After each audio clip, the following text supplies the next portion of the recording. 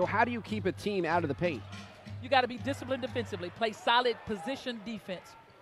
Bachman off the steal, pushing with the left hand, and it stays down. But Louisiana Tech, our president's name was spelled the same, Bruno.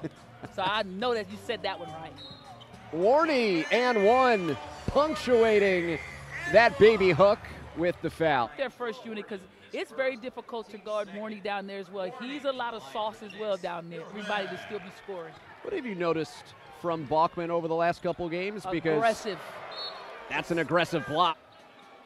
High screen for Garrett. He's into the paint on the kick out Wiggs. One more Watson. Open for three. Can it?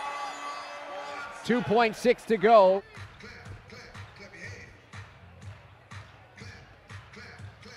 Jameel Warney with the left hand.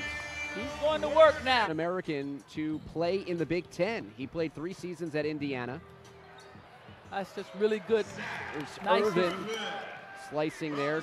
End of any quarter, he's pretty special. Uses the screen by GG. Musa on the mismatch. Crossover. Garrett got it. Billy Garrett with 1.6.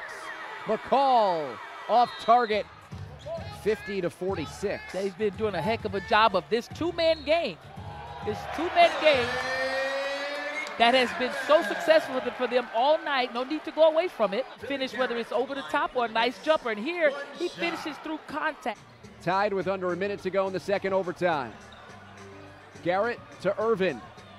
Bachman ready to shoot. Cash for three. Just stay shot ready. That's that backside. This is the last possession, or excuse me, two possessions ago with Bachman. Shooting with confidence.